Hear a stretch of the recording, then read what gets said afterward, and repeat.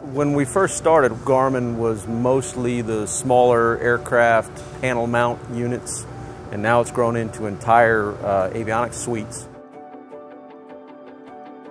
From a repair side, most of the software we can download directly from the internet off the Dealer Resource Center, and a lot of it's going to SD cards, and you download it, upload it into the aircraft, and, and, and now they've got that improvement. So that, that's pretty nice to do in the field.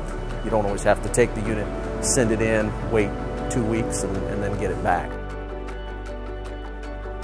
In this one, there was full interior, full paint.